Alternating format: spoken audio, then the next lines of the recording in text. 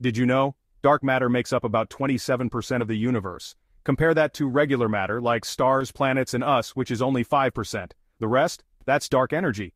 Dark matter doesn't emit, absorb, or reflect light. That's why it's so hard to detect. We only know it exists because of its gravitational effects. Galaxies spin faster than they should based on visible matter. Dark matter acts like an invisible glue holding everything together. Scientists think there are dark matter halos surrounding galaxies. Without them, galaxies wouldn't have enough mass to stay intact. Dark matter may have played a crucial role in the formation of the first galaxies. Without it, the early universe might have stayed a cosmic soup of particles.